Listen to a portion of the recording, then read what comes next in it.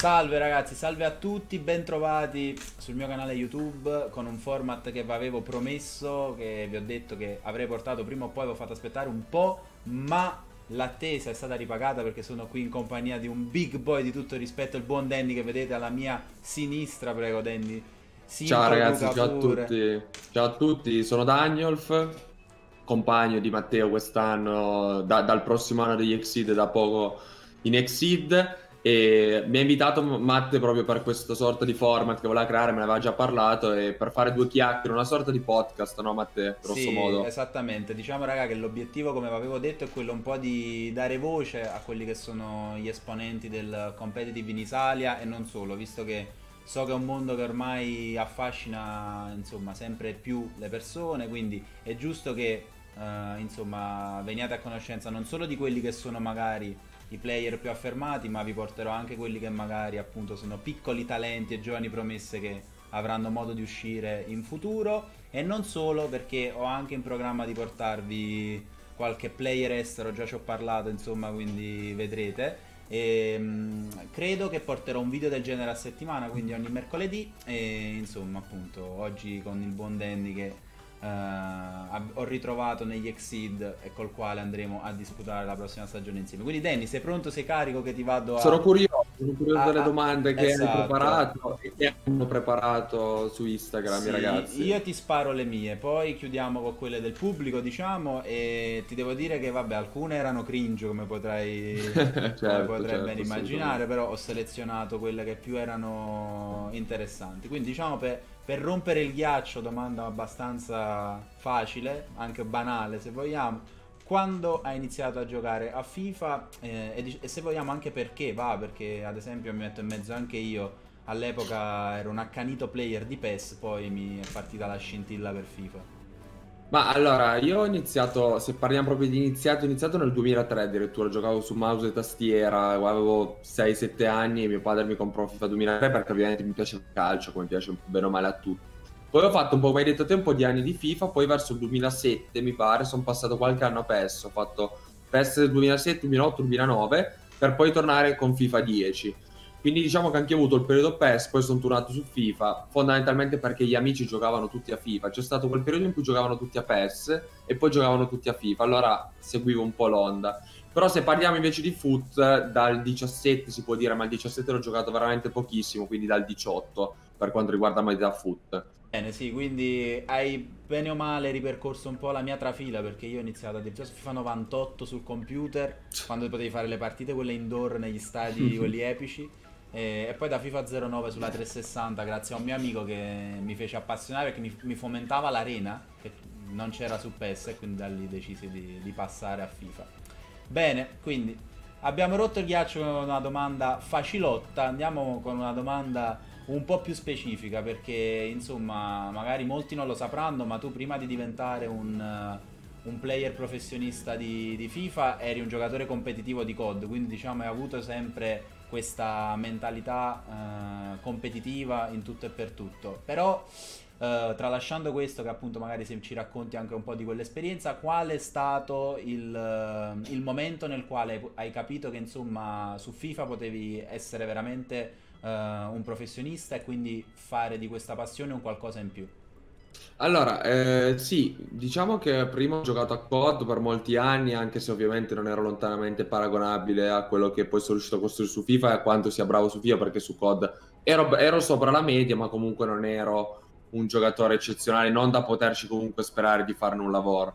Sono passato a FIFA principalmente per un motivo, perché COD è, era bello, è bello tuttora secondo me, ma in, in, Italia non c'era futuro, purtroppo non c'è futuro al momento, ma volevo, tra virgolette, avere il singolo, no? la, la po- possibilità di decidere io le sorti, tra virgolette, della partita, perché comunque quando giochi a COD sei in più di uno, no? sei in una squadra, ed è anche difficile trovare, mettere insieme quattro teste, cinque teste che poi vadano effettivamente d'accordo e che pensino COD nello stesso modo o se fosse su FIFA che pensano FIFA nello stesso modo, perché poi ognuno ha un po' la sua visione del gioco. Quindi principalmente per quello sono passato su FIFA.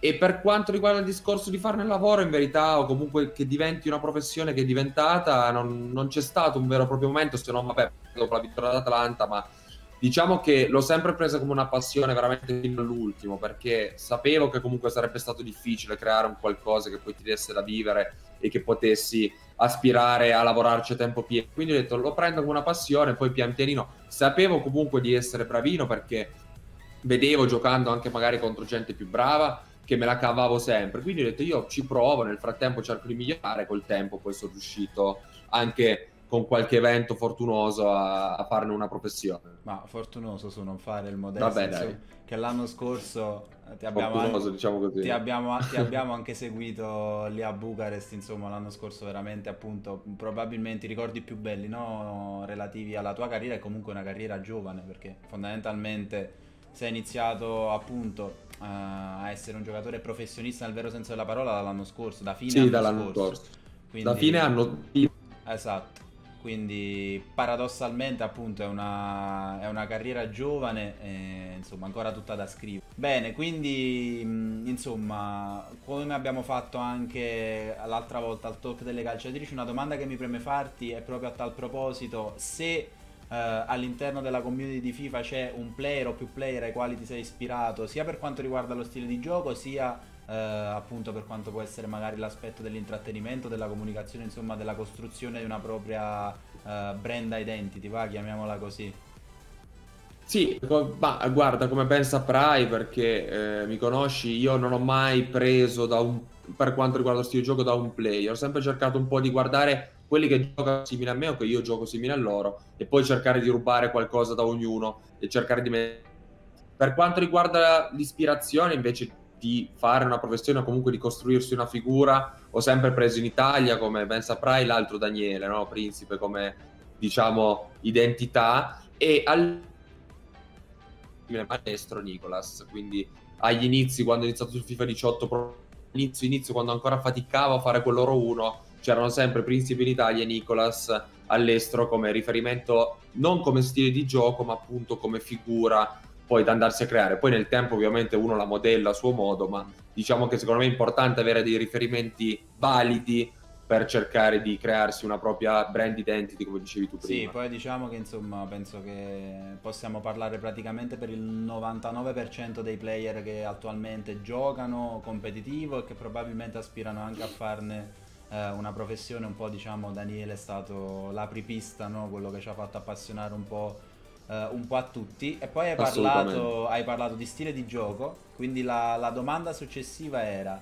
uh, sebbene sappiamo comunque che uh, FIFA ci impone ogni anno di doverci un po' reinventare, no? perché penso sia uno dei pochi giochi competitivi in cui ogni anno il meta cambia e ci sono insomma meccaniche che possono essere considerate OP eccetera eccetera Uh, come definiresti va, i tratti salienti e peculiari del tuo gioco? Cosa ti contraddistingue?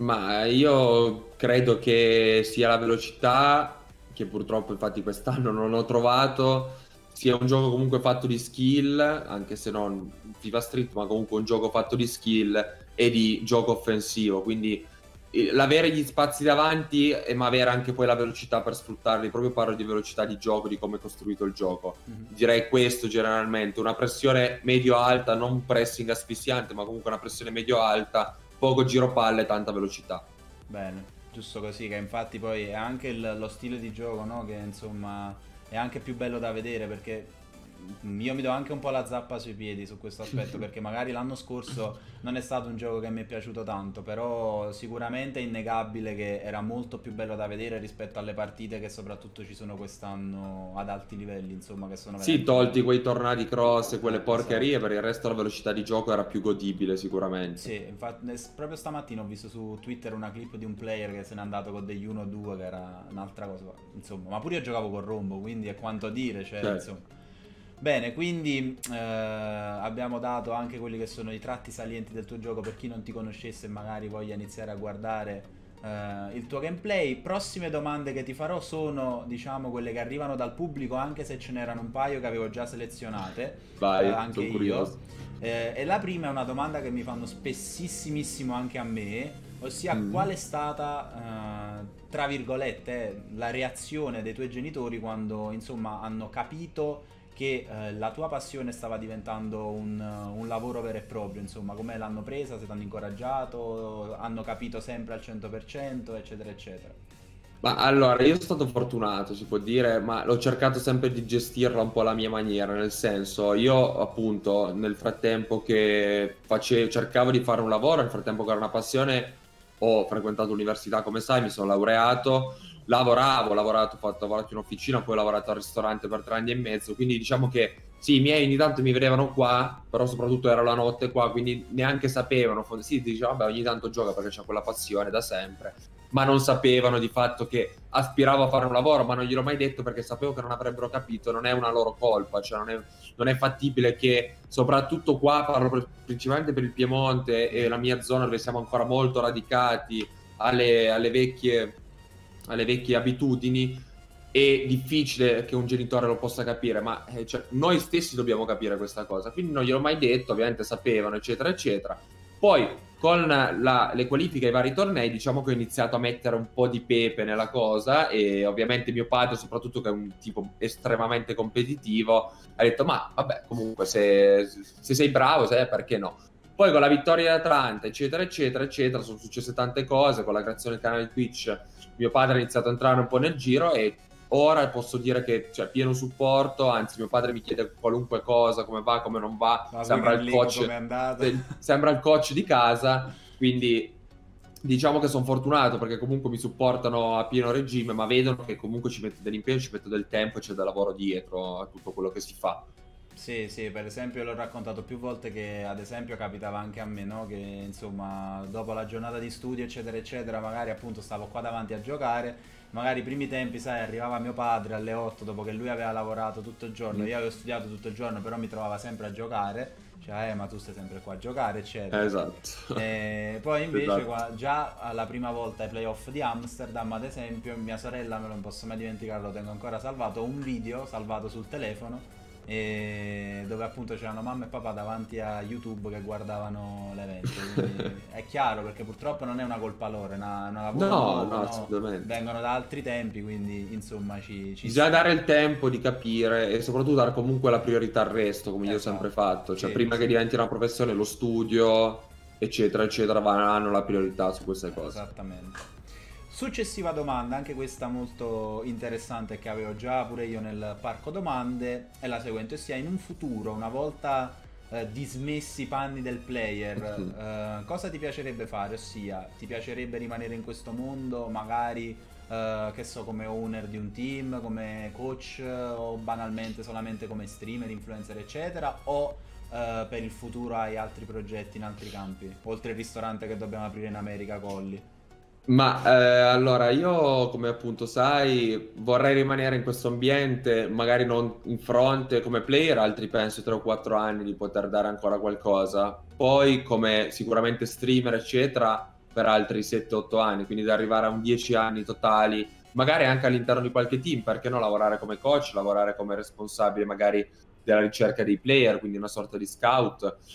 Proprietario di un team, onestamente non mi vedo al momento e neanche fra 5-10 anni soprattutto in Italia. Però vedremo come andranno le cose, il mondo corre veloce, non lo possiamo sapere. La cosa certa, come dici tu, e potrebbe succedere a breve, anche non tra qualche decina di anni, che vorrei aprire un ristorante, forse partendo qua in zona da me, e poi magari, perché no, in futuro un bel ristorante in America con te, olio, con chi ci sarà o anche, da solo, perché a me piacerebbe avere un'attività mm. e visto che ho lavorato tre anni e mezzo in un ristorante che comunque aveva già un bel giro eccetera eccetera mi piacerebbe molto visto che mi affascina la cucina Sicuramente, ripeto, voglio rimanere ancora in questo ambiente e sto cercando di costruirmi comunque la mia figura all'interno di questo ambiente, sia come player che poi dopo come streamer, eccetera. Però, ripeto, non si sa mai, perché qua da un anno all'altro cambia tutto, quindi non puoi certo, mai sapere.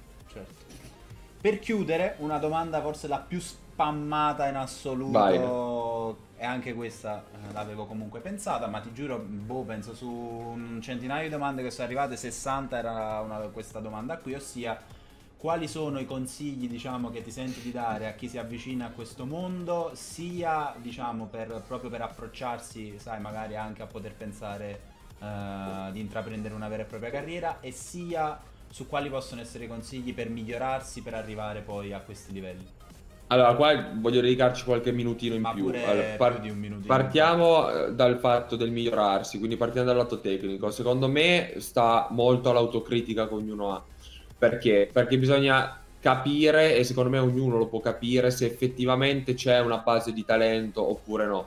Cioè, un conto è essere bravi, un conto è essere bravini, bisogna capire se effettivamente si... e notare nel tempo, nel frattempo che appunto si dà magari precedenza altro, ma si tratta come una passione questa cosa, se effettivamente si può aspirare a entrare nel giro dei più grandi, no? Perché non... e non bisogna fare un'ossessione, come dico sempre in live, perché poi l'ossessione, se non si controlla, rischia di ucciderti di ritorno. Quindi, de- se uno ha la passione di FIFA, se uno gli piace FIFA, deve mettersi lì, guardare quelli più bravi, come diciamo sempre, cercare di apprendere, rubare con gli occhi, perché è la cosa più importante, e cercare di replicare. Non si otterranno subito risultati come in ogni cosa, ci vuole un minimo di tempo.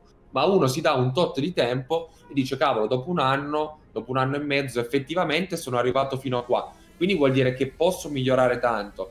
Se si vede che si sta sempre allo stesso livello, si deve capire anche a un certo punto dire vabbè, non fa per me come ogni, ogni, cosa, questa non fa per me. Ma questo non vuol dire che se non fa per te è un disastro, cioè ognuno sa fare le proprie cose, ognuno è bravo in certe cose, ha certi talenti piuttosto che un altro. Io in tante cose non sono bravo, in questo sono riuscito a crearmi qualcosa. Quindi la prima cosa secondo me è non farne un'ossessione, cercare di migliorare, rubare con gli occhi dagli altri e soprattutto rimanere sempre con i piedi per terra perché, e qua ci colleghiamo all'altro discorso, come fare di questo mondo una professione?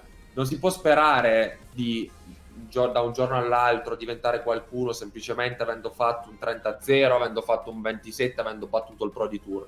Bisogna lavorare sodo, bisogna crearsi un'immagine, perché spesso tanti ragazzi non si rendono conto di questo, aspirano tutti a fare i pro, ma i pro al giorno d'oggi ci vivono in pochissimi, quindi se siete grandi, se avete già 20, 21, 22 anni, dovete aspirare a l'immagine perché poi anche lì l'immagine vi dura nel tempo e il mondo del, al giorno d'oggi, lo sai meglio di me, funziona proprio così, cioè funziona sull'immagine. Tu puoi essere fortissimo, ma se non lo sa nessuno, rimani nella tua piccola cerchia. Tu puoi essere magari mediocre fra i pro, mediocre fra quelli che lo fanno già a livello un po' più basso.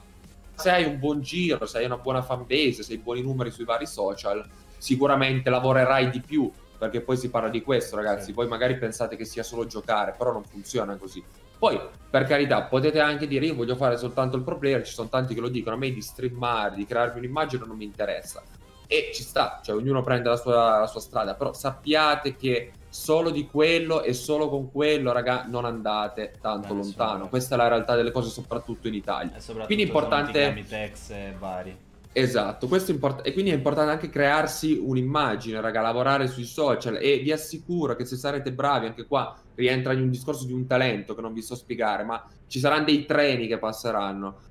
Se lavorerete bene, se sarete arrivati comunque magari già a farvi conoscere un po', starà a voi poi riuscire a prendere i treni al momento giusto, non farveli scappare e poi a rendere reale e far fruttare quello che magari vi è stato, tra virgolette, dato da qualcun altro. Quindi è una serie di talenti, raga, non è facile, ci vuole fortuna, perché ci vuole fortuna come in ogni cosa per spaccare veramente, sia su Twitch, sia su YouTube, sia nel competitivo, eccetera, eccetera. Però sappiate che grosso ce lo dovete mettere voi, potrei fare mille esempi, non li faccio perché ovviamente non si sparla e non si fanno esempi.